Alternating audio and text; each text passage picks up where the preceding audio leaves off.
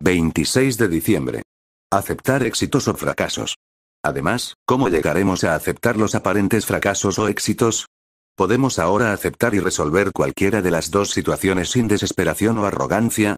¿Podemos aceptar la pobreza, la enfermedad, la soledad y la aflicción, con valor y serenidad? Podemos resueltamente contentarnos con las satisfacciones más humildes, pero a veces más duraderas, mientras se nos niegan los éxitos más prometedores y brillantes. 12 Pasos y 12 Tradiciones, página 119.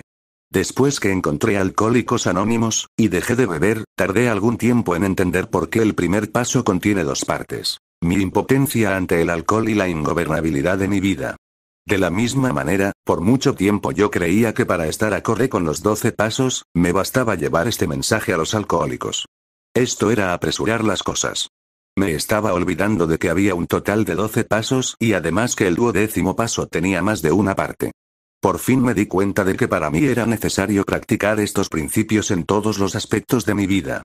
Al practicar completamente todos los 12 pasos, no solamente me mantengo sobrio y ayudo a otro a lograr la sobriedad, sino que también transformo mis dificultades con la vida en una alegría de vivir.